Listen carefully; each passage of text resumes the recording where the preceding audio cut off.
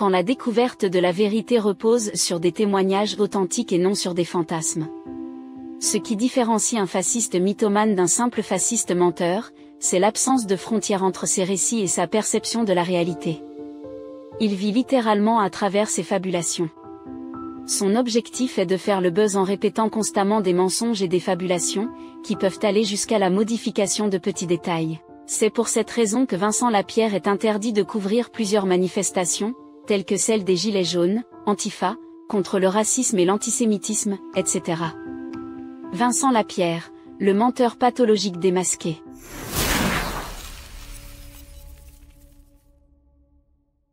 C'est plus sécurisé que, que parmi d'autres, parce qu'il y a des caméras partout. Quoi que tu fasses ici, tu seras repéré direct. Tu ne pourras pas, par exemple, gagner de l'argent à, long terme. Tu ne pourras pas, par exemple, faire un point de deal, parce que si tu l'installes, si tu l'installes, tu seras dénoncé direct hein, le lendemain, et, ils viendront te chercher. Ici, c'est pas, pas comme la banlieue. Ici, c'est très surveillé. Il y a des caméras partout, là. Il y a des caméras partout. Et à chaque fois, on est même, en ce moment, je suis surveillé. Les gens ici qui vendent des cigarettes, ils ont un, une durée de vie de 3 à 5 jours.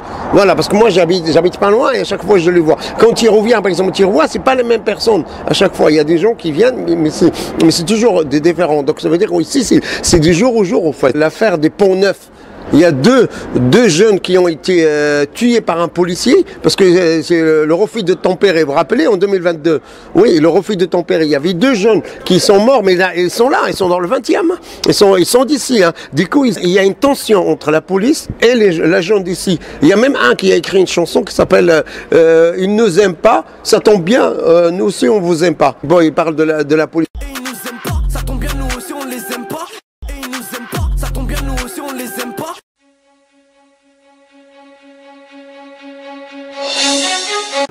Bonjour, alors moi je suis Yvan Sioma, je suis le secrétaire national Île-de-France pour Alliance Police Nationale.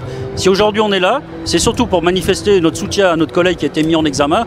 Hein. Ce jeune policier va être traumatisé pour des mois, voire des années, et l'institution Ici, c'est pas comme la banlieue. La banlieue, à la limite, tu peux par exemple sortir une, une, arme ou une kalachnikov. la police, elle arrivera que euh, dans 2-3 heures. Ou dans... Ici, tu sors une kalachnikov, le lendemain, la police, elle vient te tirer dessus. Hein. Ah oui, oui, oui. Oui, ici, tu sors une arme, la police, elle vient rapidement te tuer. Hein. Ça, il faut savoir ça. Hein. Ici, c'est trop surveillé. C'est plus surveillé que le 16e.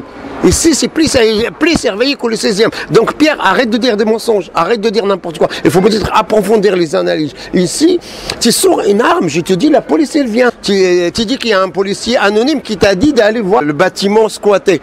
Mais c'est bizarre, ça, parce que normalement, le policier, il sait qu'ici, c'est trop, euh, trop serré. Il sait qu'il y a beaucoup de surveillance, qu'il y a des caméras partout. Donc à la limite, euh, pourquoi il te dit ça? Sinon, il y a le deuxième cas, sinon tu mort. Tu dis n'importe quoi, c'est pas vrai en fait. Parce qu'un policier, il est au courant, hein, qu'ici, c'est vraiment tolérance zéro.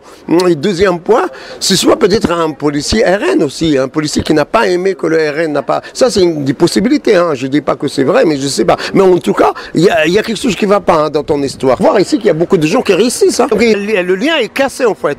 Donc, euh, le lien est cassé entre la police et la jeunesse ici. Pourquoi? Parce qu'ils ont tué un de leurs, deux de leurs donc il y a, euh, comme je disais, ici c'est le, quartier des, jeunes là qui ont été titillés pour de refus de tempérer dans l'affaire euh, Pont Neuf. Donc il faut savoir qu'ici c'est comme le, je veux dire l'os cassé en fait. Donc le lien, c'est dire maintenant d'installer une confiance. Ici la police elle est détestée ici. Hein. Elle est détestée beaucoup. Pourquoi? Parce que la police a tiré un dealer. Donc et, moi à mon avis, euh, Pierre, il fallait peut-être chercher de ce côté-là comment renouer le lien?